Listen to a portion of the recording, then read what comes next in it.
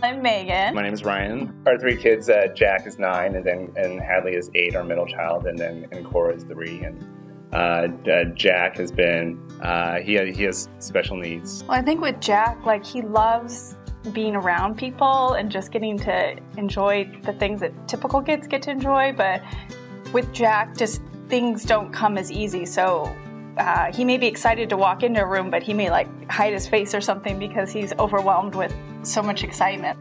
Important for us to celebrate all the small wins with him. It's not only just us, but it's everyone else in his life. It's also his his sisters, grandparents, and, and the teachers. So it really is a community that's that, that's behind him to help.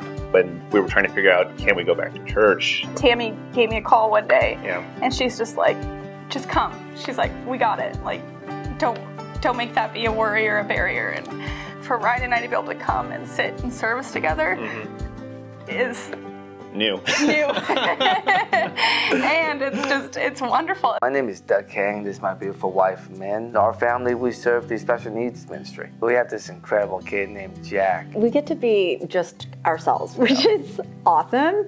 Um, totally, uh, just kind of unfiltered in many ways. We there are some days where we go outside and we just bounce on the seesaw.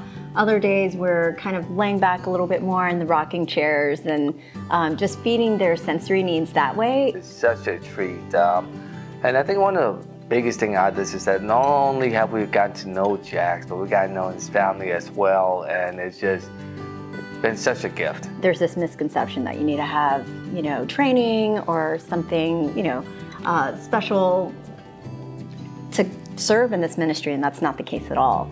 Um, come as you are, and really all it takes is that commitment and willingness to serve and a love for others. You know, at the end of the day, it's you and a special friend hanging out. Yes. And it's such a gift that you get to do it on a regular basis.